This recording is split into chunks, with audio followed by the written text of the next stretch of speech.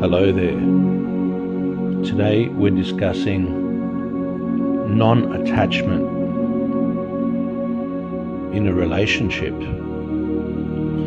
We tend to get attached to people, objects, possessions in this life.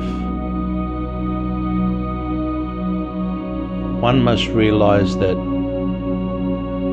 everything in this life, material or other people, are all transient.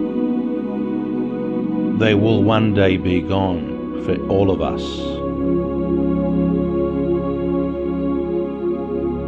To love one without attachment requires to love freely. And in a relationship, when we can love each other freely, we can express more of that love for that other person.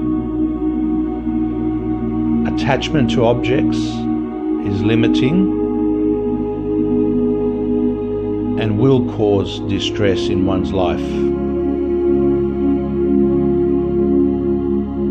I say we live in a way that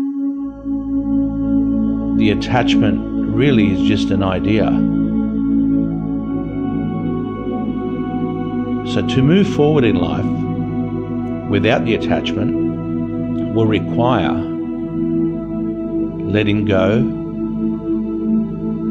and loving freely within that relationship.